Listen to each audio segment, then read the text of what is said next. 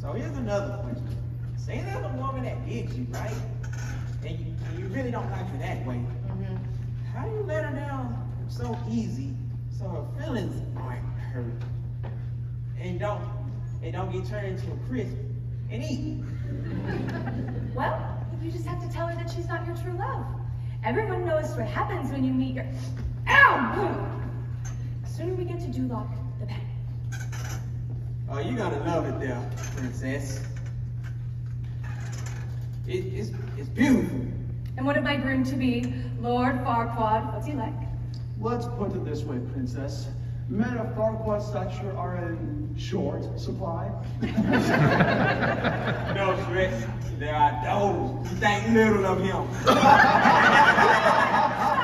it, both of you. You know, you're just jealous you could never measure up to a great ruler like Lord Farquaad.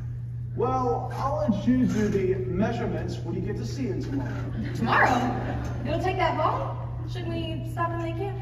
No, that'll take. No, we can keep going. But there's robbers in the woods. Oh, come on. I'm scarier than anything we're going to face in this forest. Whoa, time out. Shrek, I think camp is starting to sound real good. I need to find somewhere to camp now. Hey, over here. Now, Shrek, we, we can do better than that. I don't think this is fit for a princess. No, no, it's perfect. It just needs a few homey touches. Homie touches?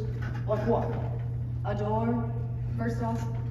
Well, gentlemen, I bid thee good night. You want me to come in there and tell you a bedtime story? Because I will. I said good night.